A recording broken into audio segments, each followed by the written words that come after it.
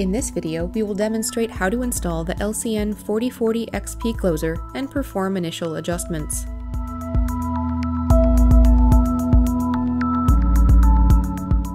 We will install the 4040 XP closer on the push side of a right-handed hollow metal door, using a parallel arm.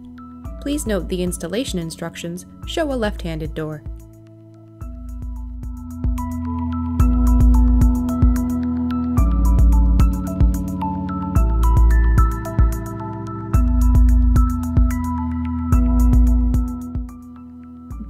Tools you will need.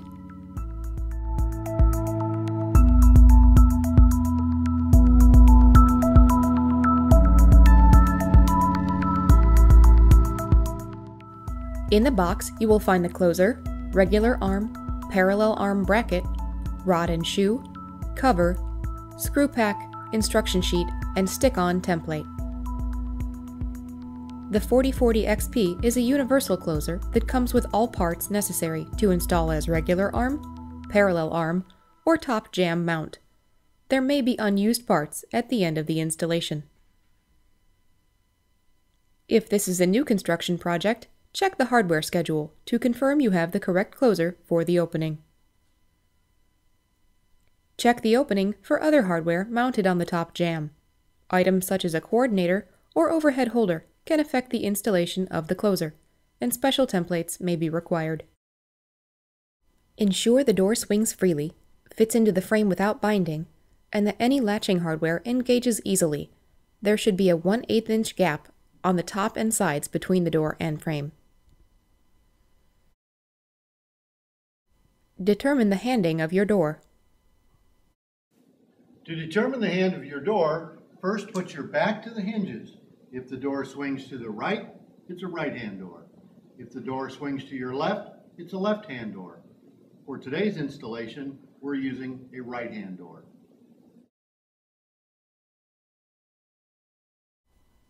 Then determine how far the door opens. In this opening, the door will open to 90 degrees. Therefore, we will measure all drilling locations on the door and frame.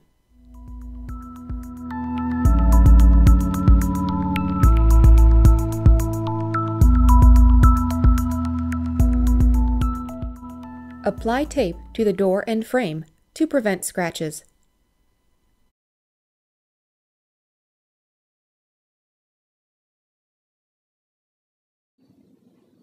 For your convenience, you might want to take your directions and use the peel and stick tape and put them on the door in front of you so that all of your information will be close by when you need it.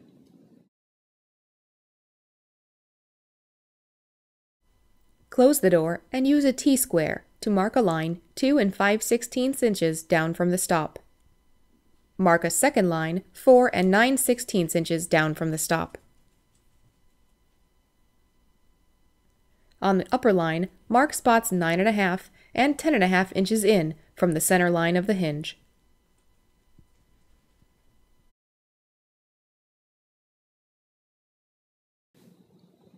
Hi there. When you need to make a second mark exactly one inch away from the original mark, grab your T-square. The width of the ruler is one inch. Lay it up on the work surface.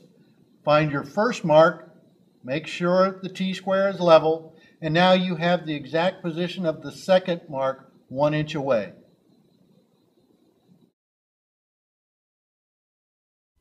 Draw a perpendicular line down from the 9.5 inch mark. From that line, mark 4 inches and 5 inches away from the line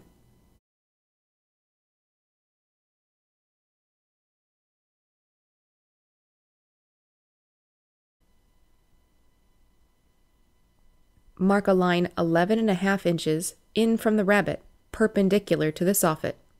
This is the center line. On the frame, use the T-square to mark two lines along the soffit, measuring from the door side, one at 5 sixteenths and the other at 11 sixteenths of an inch.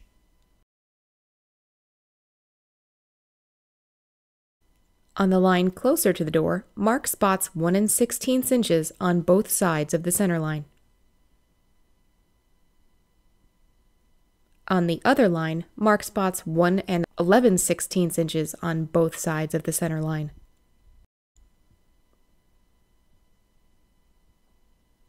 Finally, mark a spot on the center line 1 and 3 quarter inches from the door side. For doors with pivots or swing clear hinges, locate the closer and shoe from the pivot point of the door. Using the center punch, mark the nine locations to be drilled on the door and frame. Drill 1 8 inch pilot holes at all locations.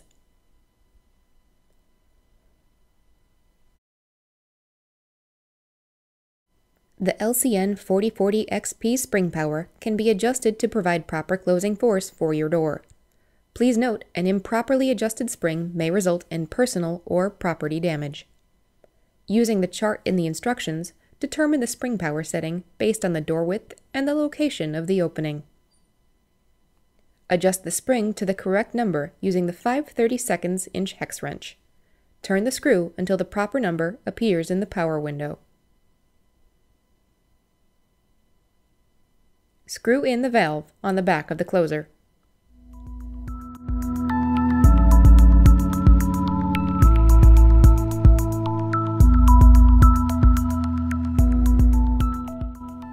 Attach the closer to the door using the four screws.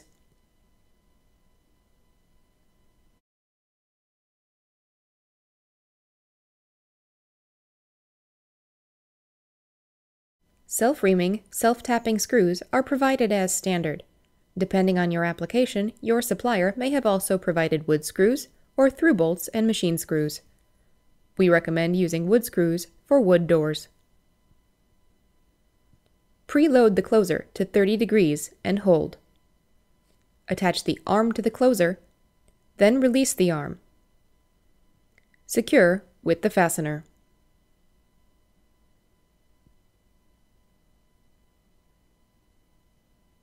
Attach the parallel arm shoe to the frame with the five screws.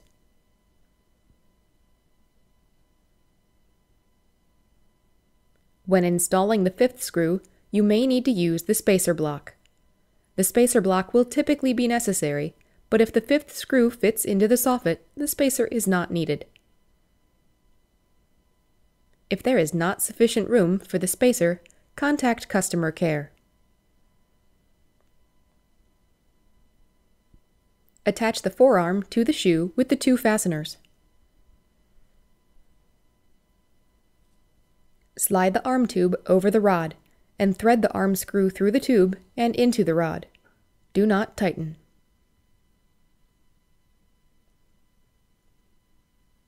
Position the main arm until it is parallel to the face of the door, then tighten the arm screw.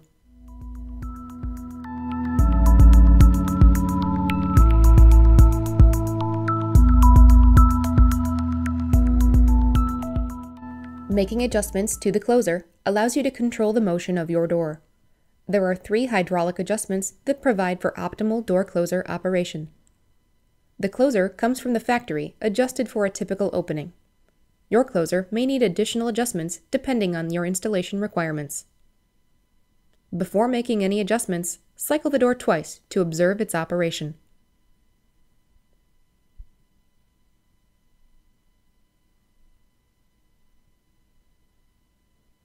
Please note, do not back out the adjustment screws too far. If you are close to backing out the screw completely, you should feel increased resistance. Once you feel this resistance, do not back out the screw any further. Back check is the hydraulic cushioning to slow the door as it opens. This usually starts at 70 degrees. The door will slow down to reduce the wear on the door, wall, and hinges. Backcheck does not serve as a doorstop. To adjust it, locate the backcheck screw, which is the screw on the face of the closer closest to the spring tube.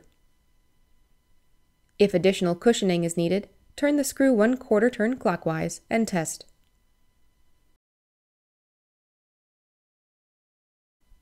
If less cushioning is needed, turn the screw one quarter turn counterclockwise and test. The next two hydraulic adjustments are main speed and latch speed. The main speed is the speed at which the door closes from its fully open position to about 20 degrees. The latch speed is the speed at which the door closes during its last 20 degrees of closing. When adjusting closing speed, remember the Americans with Disabilities Act requires doors to take, at minimum, 3 seconds to close, from 70 degrees to within 3 inches of the latch. Locate the main speed screw. It is located on the face of the closer, closest to the pinion, where the arm is attached to the body. Make an adjustment one quarter turn at a time, clockwise to decrease speed and counterclockwise to increase speed. Then, open the door and release it to observe the closing speed. Latch speed is the final adjustment, which ensures the door latches properly. We recommend only small adjustments to latch speed. The latch speed screw is adjacent to the main speed screw on the face of the closer.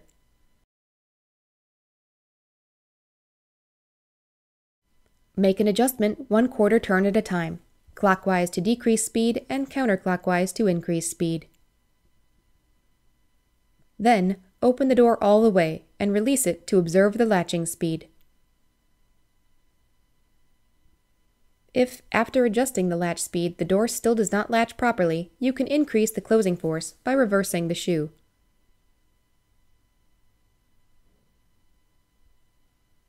If the door is still not latching, increasing the spring power can provide additional closing force. However, increasing the spring power will require more force to open the door. To complete the installation, snap on the cover.